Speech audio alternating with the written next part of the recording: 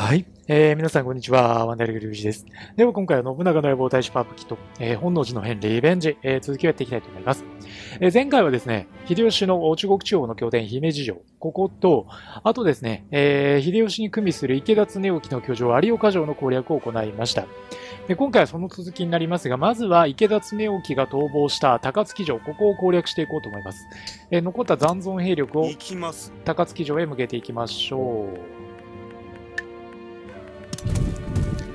進め、まあ、数がね、秀吉側はやっぱり長級ということもあってかなり強力なので、ここをなんとかね、突破をしていきたいと思います。強行でいきます。46日、1ヶ月半ですね。まあ、兵糧はギリギリ、えー、持ってくれるかなと思いますので、兵糧にね、えー、余裕ある今のうちに、高槻城を落としちゃいましょう。これにて表情を終える。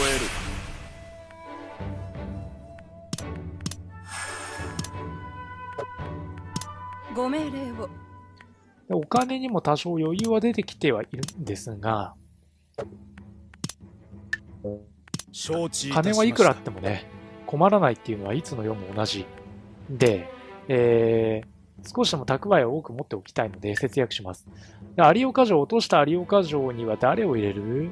それなりに、えー、まあ、裏切るリスクの少ない人をちゃんと入れておきたいので、まあ、こんなところかな。長浜城から大野晴長も派遣しましょう。どうしてもここは武将不足に陥っているところなので、しょうがないですかね。すまねえな。さて、こんなところかな。高槻城をこのターンで落とせれば、対秀吉戦にね、えー、全兵力を投入できるんで。姉小路と勝家か、まあ、ここは勝家についていこう。勝家のが明らかに強いからね。うまく、あのー、信長を撃った三井出側ではありますけど、うん、なんとか、織田家中の人間たちとうまくやっている感はありますね。さあ、全員登用しましょう。逆らう者は全員処罰しますけど、そうでない者は全員登用していく。では、についても一旦起乗させます。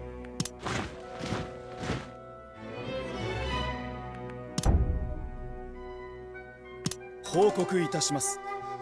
先月の収支合戦が続いてはいるのでね、ここいらで一息つきたいところではあるんですが、秀吉の力を承知ぐために、えー、続けて戦線していこう。えっと、この後は蒲生に行くか、それとも筒井家に行くかなんですけども、筒井の方がもう城拠点1個しかないので、筒井を倒して筒井配下の家臣を全部根こそぎもらいましょう。お見せしよう。助立ちいたす。では、軍を送ってきます。筒井城には、おー。そう来るか。筒井隊1万7000。で、味方が1万7200。く、結構厳しい戦いになるな。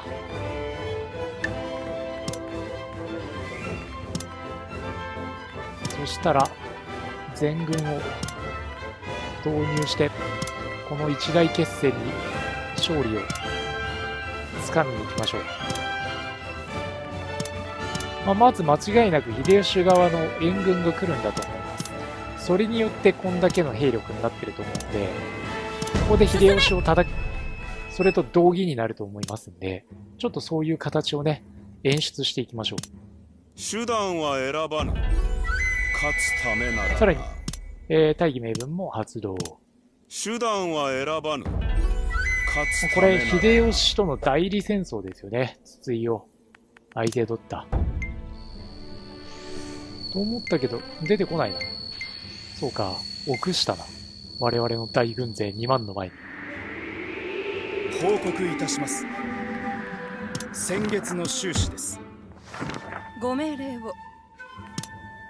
では、筒井を見捨てた秀吉、後悔させてあげましょう。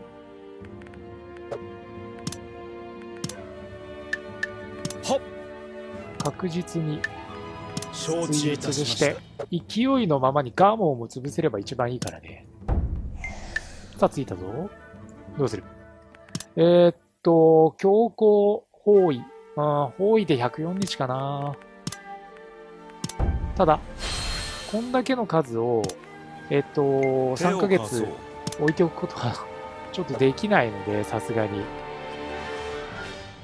敵の援軍が来ないと見るや、えっ、と、部分記事をさせていきます。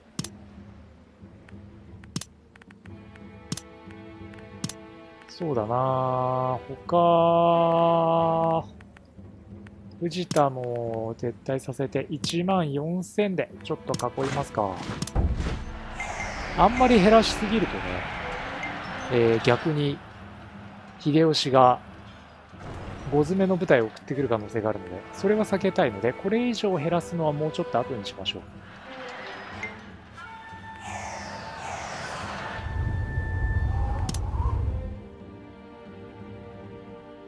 報告いたします兵糧もね、潤沢にあるわけではないので、秀吉側の兵糧はね、無限にあると言ってもいいんですけど、我々はそういうわけにもいかないので、これにて表情を終える試作力はちょっと貯めておきたいんですが、鉄砲増産だけは入れます。で、2人、えー使いたいというものがいるので、まあ、あのーまあ、汎用的なというか凡庸な2人ですが、片雇ってお付けないきましょう。で、筒以上の攻略がまだうまくは進んでないので、ちょっとここは様子を見ていきましょうか。できればね、長宗我部と秀吉をぶつけたいんですよね。北条と真田。まあ、ここは不参戦でいいかな。報告いたします特にどちらにつくとい先うわけで月のもなく。収支ですゲチをであと、この後なんですけど承も、知いたしちょましたっと前線の、えっ、と、有岡城あたり、えーさらにはもうちょっと先を見据えて、えー高槻城とかも、足軽、農兵、ともに数を増やしておきましょう。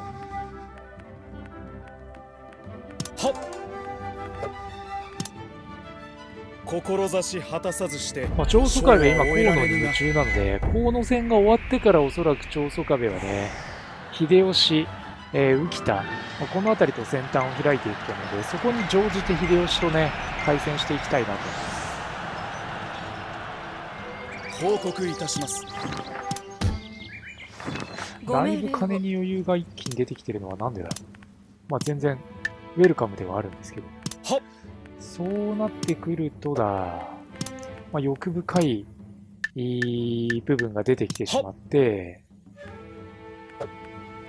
徴兵をね、ちょっと増やそうかななんて思っちゃうんですよね。で、さらに、最近サボり気味、まあお金がなかったんでというのはもちろんあるんですけども、えー鉄砲鍛冶作って、この後の鉄砲隊組織のための対応に当てました。あと、牧場もね、結局騎馬隊も欲しいかのでしこまった承知いたしました作っておきます。筒以上が意外と硬いな。硬いというか、まあ粘るなって言った方がいいのかな。ニュアンス的には。ようやく落としたので、これで筒以上が我々のものになりま負したさあ、筒井城配下、筒井家の武将全員、豊。ここに左近はいないいるね。左近を手に入れたのはマジででかい。そりゃそうだよ。左近が我が配下になった。で、続いてどこを標的にするかだね。秀吉と対戦してもいいんですが、再び。先月の収支です秀吉は強力なので、できれば先にガモンを表ね、下しておきたいかなという気も、えー少なからずしますよね。これにて表情を終えるさて、どうしようかな。まあ、一個は戦闘系のもの。もう一個は英才教育でも入れておきますか。お、サゴンが、いきなり。超重鎮扱いになってるな。さすがよ、左近。で、配属。えっ、と、最前線の筒以上に誰入れるかだね。えー、稲富さんと、あとは左近は手元に置いておきたい。で、裏切るリスクがある人間は、当然にいると思うので、あと、左近は絶対裏切られたくないので、左近にはね、特別に、当てがいましょう。こそじけなしさて、じゃあ、鉄砲鍛冶、また、適当に。こここは正直何も考えてないです。かしこまりました前線はね、あのーまあ、僕の動画見ていただいている方は、おなじみの準検所を立てるのが多いんですけど、ここは準検所を立てずに行きます。さてさて、どうする？一度、利光隊は騎乗させて、この後、秀吉と戦う前にできればガモンを崩しておきたいよね。なので、ガモン隊と戦闘することを前提に、秀吉を一旦放置しましょ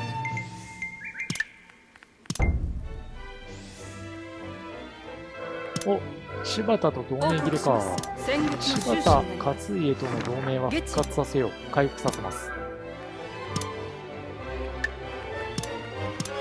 はい承知いたしました出た。そうなると、安土沢山、この辺りに、えー少し歩兵かけましょう、急いで。今すぐ戦争を始めるわけではない。えー収穫の時期を待ってから先端を開くことになると思うので、それまでの間にちょっとばかり兵を集めておきます。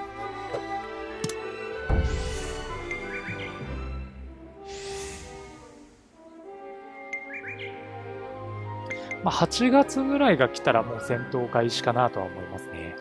報告します9月のガッチガチまで待つ必要はないので、氏里がちょうど我々の領地を狙っているであれば、こちらから逆進行だな。たんまりとね、武将を補充させてもらいましょう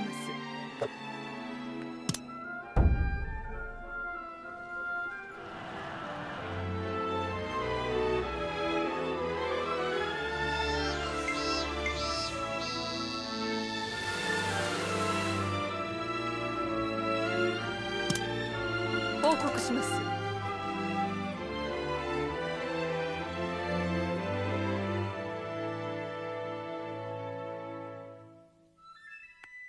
先月の収支になりますこれより表情を始めるまあ、ここは商業と対名でいこうかな。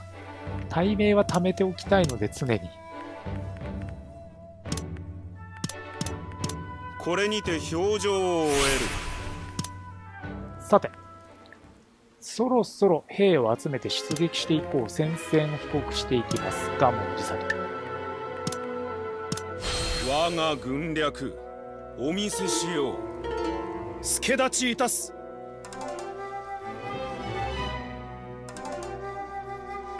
まずは兵を送ってみてどう出るかだよな。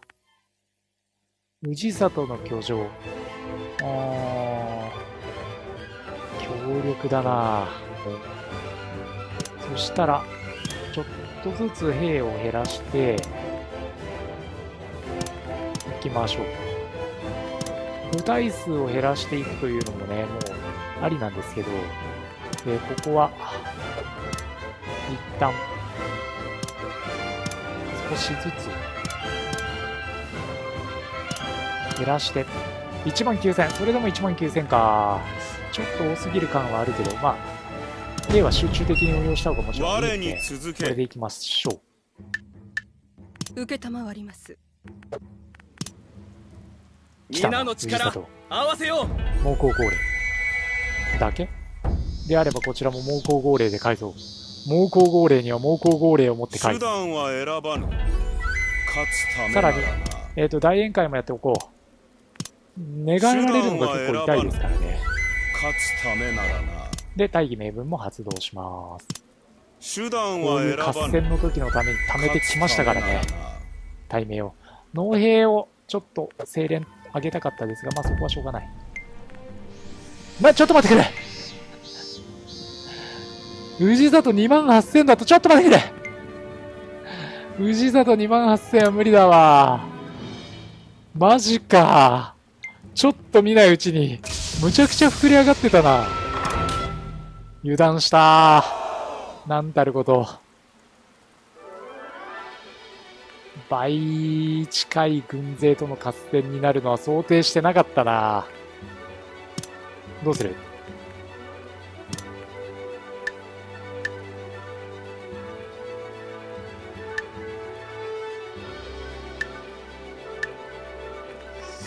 やられたな本当にやられた。我に続けまあ、ほとんどがね、敵の増援だと思うんですが、覚氏悟里がどこにいるかだな。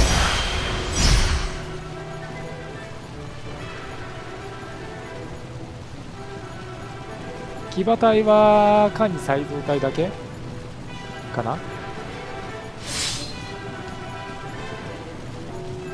氏里の本陣を潰す以外にないな。さ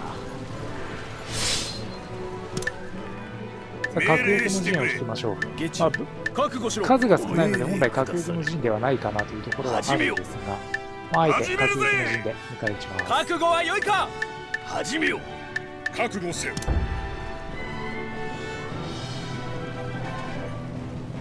ご命令くだされ。下地を。覚悟せよ。ゲチよご命令をさあ始めようかいやー、全軍を投入するべきところ、やるな。氏里の方にどんだけ援軍が出てるのか。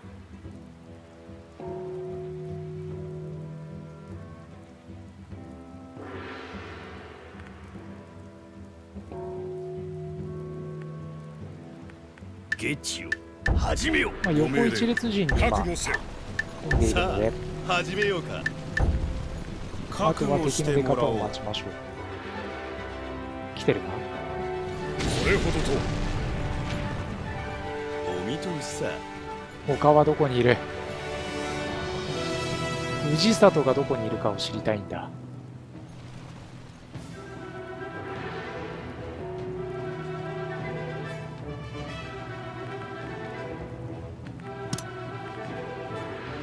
敵の居所氏里の場所がわからないまま先端をこの手じゃ見せてやる。やりたい。前へ。いた。氏里の人だ。氏里に向けて全軍を突貫させよう。それ以外に勝機はない。覚悟してもらおう。さあ行こうぜ氏里が3000点が唯一の救いかな我らが意地見せてくれようぞやりたい前始めるぜ叩き潰せ信勝とかも入ってんだなまあ騎馬隊がせっかくの騎馬隊が活かせてないなおいしょうがないね覚悟してもらおうバカななんとか敵に引きつけてもらっているという前向きな考えのもとおいやりたい藤里隊に殺到したい。覚悟してもらおう。まさか。負けるとは。叩き潰せ。足軽隊前へ。かードロンマにはめられた。しょうがないなやりたい前。へ覚悟は良いか？やりたい。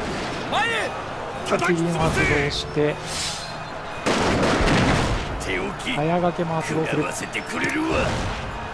深くを取ったか。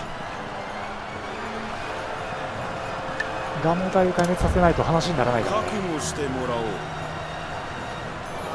う。やりたい。前へ修羅となりて敵を焼き尽くさん。いや焼き尽くしましょうよ。何しやがる。仕方ねえ。一旦引くか。やりたい。前。なんとか持ってくれれば。いいんだけど。え一旦引くか。ここは。足軽隊前へ。カンカンに。よし全軍突撃がここで来てくれた。ありがてえ。前こんなにありがたいことはない。やりたい。これで前藤里の首が取れる。覚危なかった。一旦引く全軍突撃じゃなくてね逃げられたりしてたらちょっと危なかったかもしれないですね。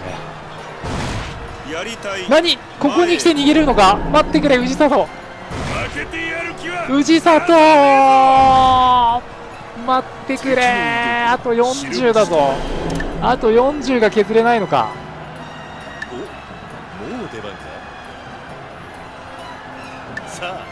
あと40が削れないのか。削ろう。削り切ろう。削りきれなかった。マジですかい。してやられた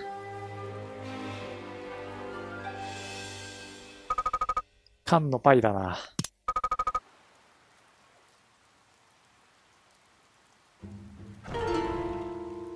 くーきついね。まあしょうがないですね。